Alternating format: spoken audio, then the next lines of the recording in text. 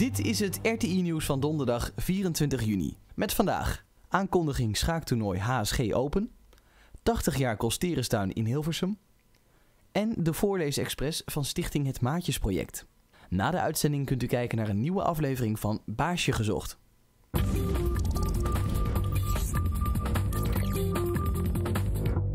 Voor de vijfde keer wordt dit jaar in Hilversum het HSG Open schaaktoernooi gehouden. Van 26 juni tot en met 4 juli vindt het toernooi plaats in Hotel Lapershoek. Het inmiddels nationaal en internationaal bekende toernooi zal dit jaar in het teken staan van de jeugd. Met de 13-jarige grote belofte Ilya Niesnik als publiekstrekker. Burgemeester Bakker opent het toernooi feestelijk op zaterdag 26 juni om 1 uur middags. Ook u bent van harte welkom in Hotel Lapershoek. Kijk voor meer informatie op www.hsgopen.nl.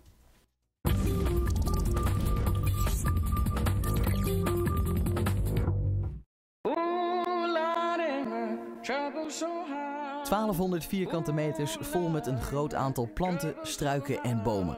Dat is de Kosterenstuin aan de Zonnelaan in Hilversum. In de stichtingsakte van de tuin staat: het doel van de tuin zal zijn het bevorderen van de belangstelling voor en de kennis van de natuur. In het bijzonder de botanie. Uh, het is een tuin die al heel erg oud is. Hij bestaat uh, 80 jaar dit jaar. Hij is dus in 1930 uh, opgericht door Jan Kosterus. En uh, Jan Kosterus hield van bloemen, van planten, maar ook van mensen. En uh, hij wilde heel graag een tuin inrichten waar iedereen gewoon rond kon lopen en genieten van wat er groeit en bloeit. In Hilversum en in het Gooi. Een botanische tuin heeft allemaal bordjes bij de planten. Dus als je een mooie plant ziet, dan kan je ook kijken hoe die heet. En planten staan bij families bij elkaar.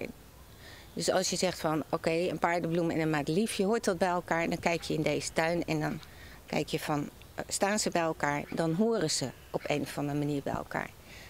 En bij elkaar horen betekent dat ze dezelfde kenmerken hebben.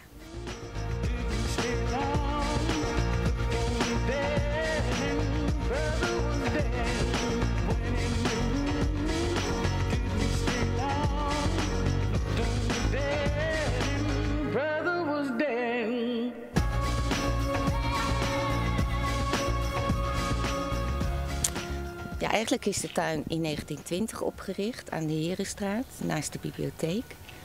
En uh, toen de bibliotheek moest verhuizen in 1930, toen zocht Jan Kosterus een plekje om zijn tuin naartoe te brengen. En dat is dit geworden.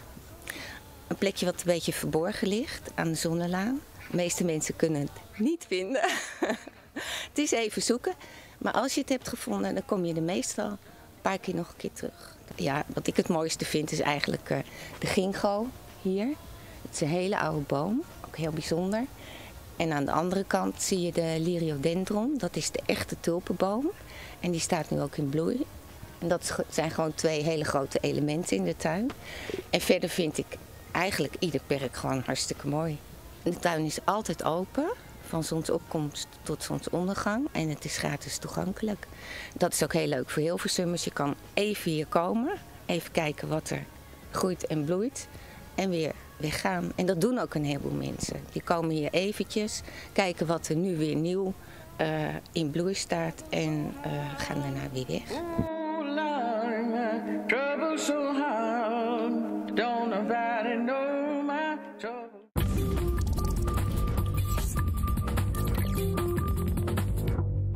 uh, project heet het Voorlees, de Voorleesexpress Hilversum.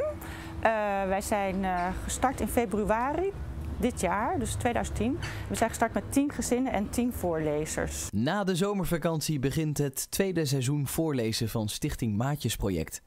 Vrijwillige maatjes zijn er voor mensen om samen dingen te ondernemen.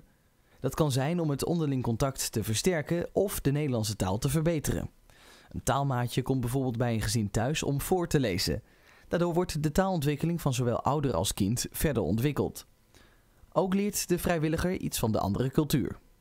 Het project houdt in dat er 20 keer elke week op een vaste dag een voorlezer bij een gezin komt voorlezen op een vaste tijd. We zoeken gezinnen en uh, met kinderen van 2 tot 8 jaar die een taalachterstand hebben. En waar eh, mensen het fijn vinden dat er voorgelezen wordt om zo de taalontwikkeling te stimuleren van die kinderen. En ook uh, de gezinnen die moeten bereid zijn om het voorleesritueel na die 20 keer over te nemen. Dat de kinderen dus uh, geholpen worden met hun taalachterstand, dat hun woordenschat wordt vergroot. En we willen graag ook de ouders stimuleren om het, te laten zien dat lezen leuk is. En we willen de verschillende culturen bij elkaar brengen. Omdat blijkt dat veel allochtone gezinnen in Hilversum wonen, waar de kinderen een taalachterstand hebben.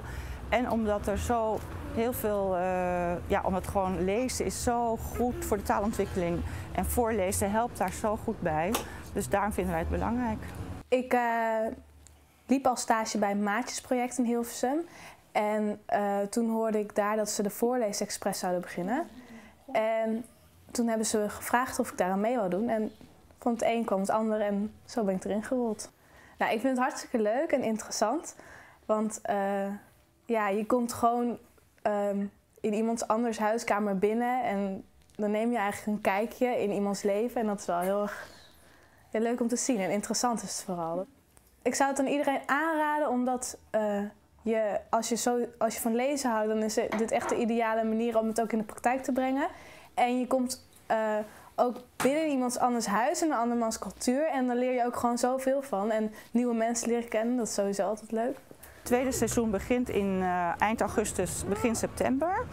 Nu werken we met 10 gezinnen en 10 voorlezers. En in het tweede seizoen gaan we beginnen met 20 gezinnen en 20 voorlezers. Dus uh, mensen die willen voorlezen en gezinnen die mee willen doen met het project, die kunnen zich aanmelden bij www.voorleesexpress.nl of ze kunnen ons bellen. En het telefoonnummer is 035 64 000 61.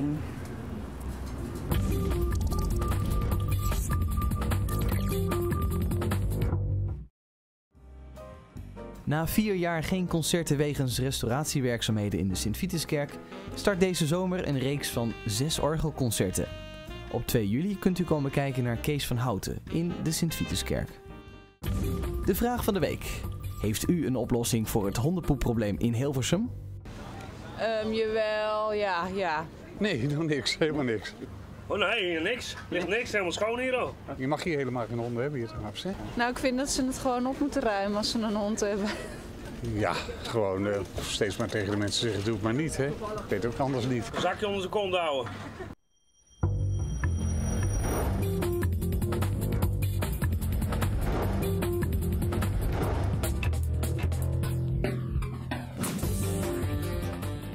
U kunt nu kijken naar een nieuwe aflevering van Baasje Gezocht.